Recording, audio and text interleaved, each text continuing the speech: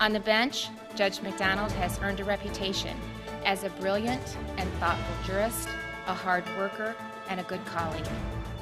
Christopher McDonald will soon add one more thing to that list history making Supreme Court Justice. Today, Governor Kim Reynolds announced his appointment to the Iowa Supreme Court. McDonald will become the first person of color to serve on the court. Political director Dave Price joins us with what McDonald had to say about today's honor. Sonia and Aaron McDonald used three words when he was describing this honor honored, humbled, and grateful. He was born in Thailand and then he moved to the U.S. and grew up on Des Moines' South Side, and he will bring a new life experience to the bench. The six people currently on the bench are all white, and they always have been white to serve on the bench. Now, you'll see the seventh person in this picture, the bottom right there. That is Daryl Hecht. He resigned from the Supreme Court back in December as he battles cancer. Today, McDonald offered his family well wishes for Hecht and then acknowledged the historic nature once he replaces him on the bench.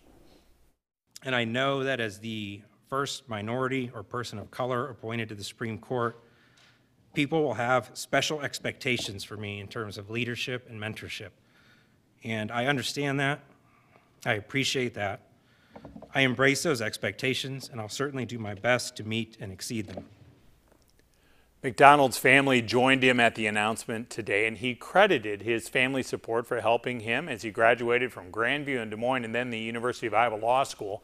He also offered this praise for his wife, who was unfortunately out of town on business. Thank you for your love, your support, uh, for being yourself, and for laughing at my jokes, which uh, not a lot of people do. You can also see his mother in the corner. She was the one beaming during the ceremony announcement today.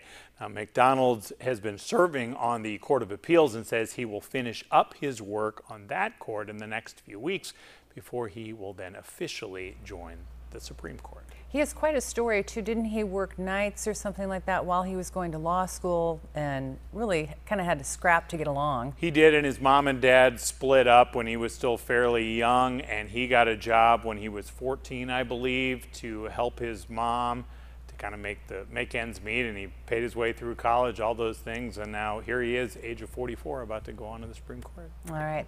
Thanks a lot, Dave.